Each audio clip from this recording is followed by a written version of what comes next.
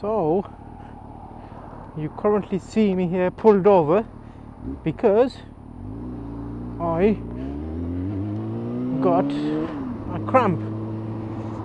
Getting a cramp while riding is amazing because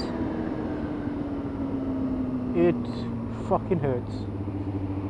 My left leg had a dodgy cramp right up my pelvis, so it's a good idea to maybe stretch off before you get on a bike, or you look like a spaz moving your leg around trying to loosen the cramp, and you'll have to end up just pulling over and stretching your leg. Um, but yeah, it's uh, it's very uncomfortable.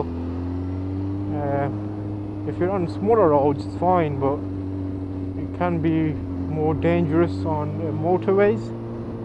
Pulling over on the hard shoulder.